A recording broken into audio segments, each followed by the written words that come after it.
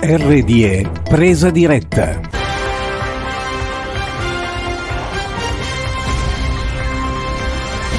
Ben ritrovati dalla redazione. La Bielorussia denuncia che il dispiegamento di eh, più forze e armi pesanti nell'area ucraina vicino al confine potrebbe portare a un conflitto locale. Il segretario del Consiglio di sicurezza bielorusso, il maggiore generale Alexander Folvovic, ha assicurato che l'Ucraina ha dispiegato un gruppo di forze militari e armi pesanti utilizzando elicotteri aerei da combattimento al confine con il territorio bielorusso.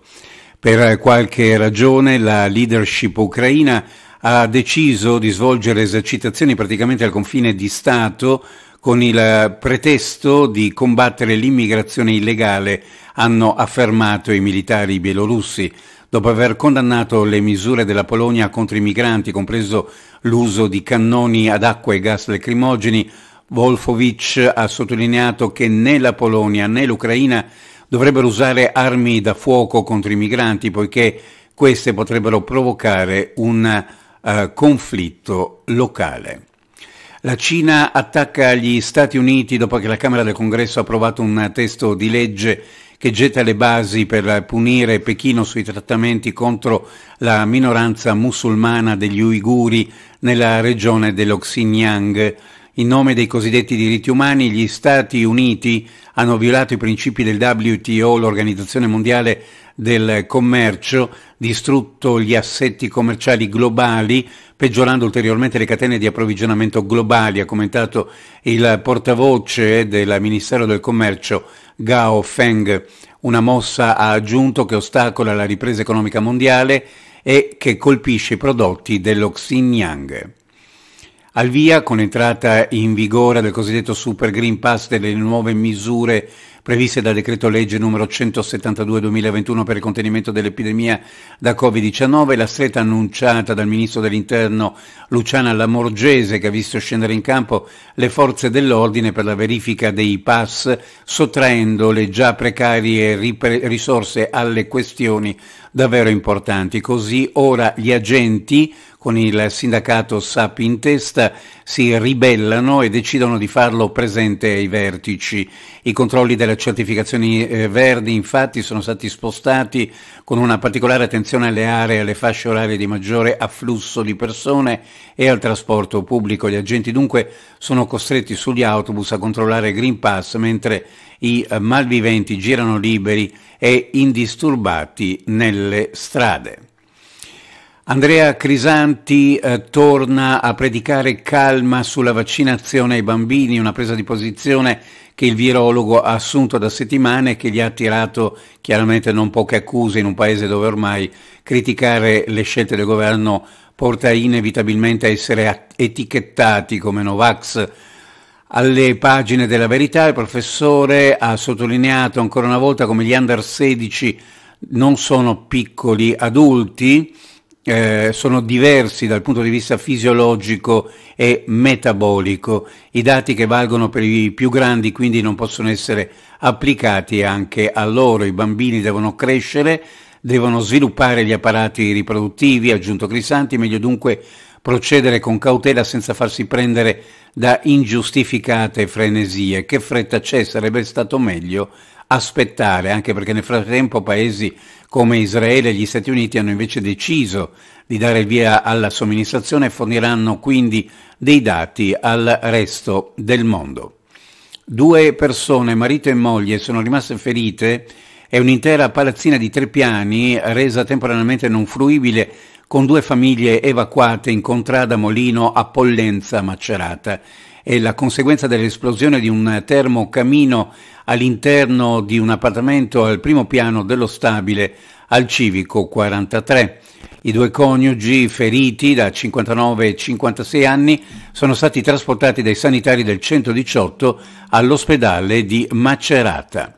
E ancora cronaca di due feriti lievi il bilancio di un incidente con uno scolabus avvenuto a Prato allo Stelvio in Alto Adige. A causa della strada innevata, l'autista ha perso il controllo del pullman che stava portando una quarantina di ragazzi alla scuola media del paesino ai piedi dello Stelvio. Il mezzo è finito parzialmente fuori strada per poi ribaltarsi su un lato. I passeggeri hanno lasciato il bus attraverso il lucernaio sul tetto. Sul posto sono intervenuti i vigili del fuoco, i carabinieri e l'elisoccorso Pelican 3. Fortunatamente solo due giovani sono rimasti feriti in modo lieve. I compagni illesi sono stati portati nella caserma dei vigili del fuoco in attesa dell'arrivo dei loro genitori.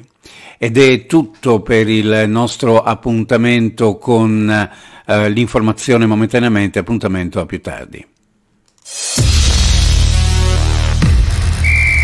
Buongiorno dalla redazione sportiva, missione compiuta per la Juventus in Champions League. Col pass per gli ottavi già in tasca, nell'ultimo turno del gruppo H la squadra di Allegri batte 1-0 il Malmo e approfitta del mezzo passo falso del Chelsea con lo Zenit per chiudere il girone al primo posto. Allo stadium buona prova dei bianconeri che vincono grazie a un colpo di testa di Kin su assist di Bernardeschi. Il tecnico bianconero Allegri analizza il primo posto e la prestazione. Sentiamolo. Siamo contenti per il primo posto. E questa dimostrazione che vincere le partite non è semplice, soprattutto vincere in trasferta.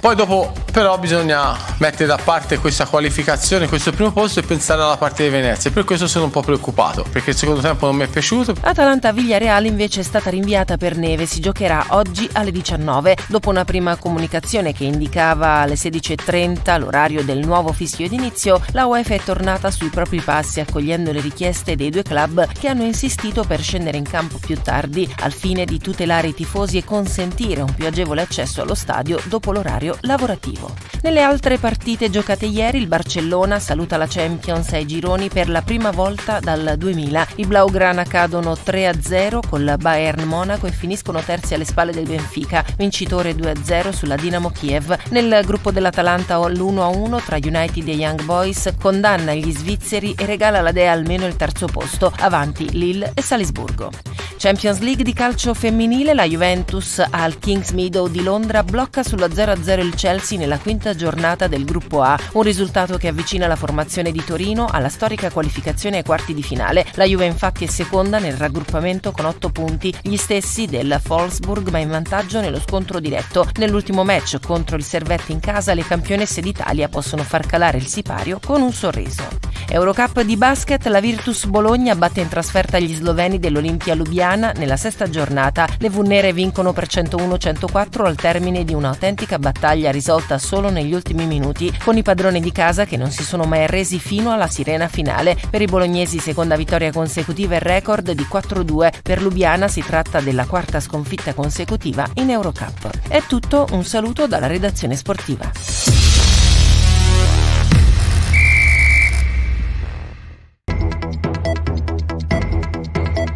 RDE Presa diretta.